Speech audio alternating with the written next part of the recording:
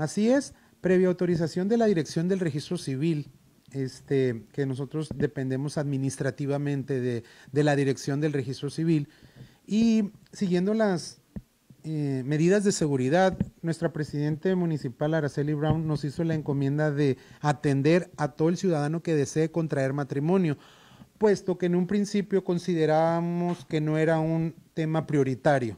En un principio únicamente había los registros de nacimiento y de funciones.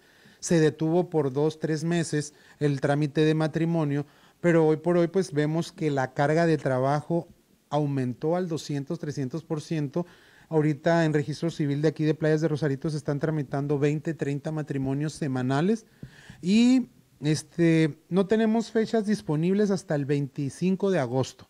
Entonces, los ciudadanos que deseen contraer matrimonio aquí en Rosarito, con gusto se les va a dar la atención, previamente que han cumplido los requisitos que la ley establece. Entonces, acuden, se les agenda una vez que ya traen toda la documentación completa.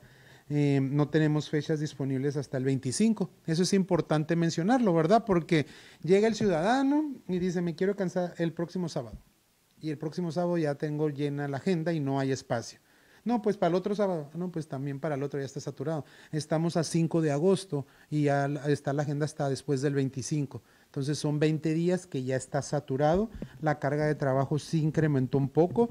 Desconozco si en otros municipios, que sea Tijuana, Tecate, eh, sí me toca ver mucha gente que es de Tijuana, que quieren casarse aquí. Y les comento la situación, les digo, ¿el motivo ustedes viven aquí? No, vivimos en Tijuana, pero en Tijuana están en un mes o en dos la, las agenda, la, la agenda para contraer matrimonio. Entonces, mucha gente se casa porque desea afiliar al seguro, porque desea hacer un trámite, muchas de las cuestiones que desean su acta de matrimonio o simplemente porque ya desean unirse en matrimonio, ¿verdad?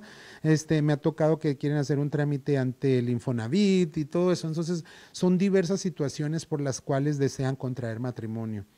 Se les hace la recomendación, su cubrebocas, las medidas de seguridad, y les hago la recomendación que máximo sean ocho personas dentro de la salita de matrimonios, puesto que es un área pequeña, es un área reducida y, mucha gente acude con 10, 12, 14 personas y, es penoso decirles, saben que no pueden pasar tantas personas por seguridad de ustedes y del, del personal y del titular.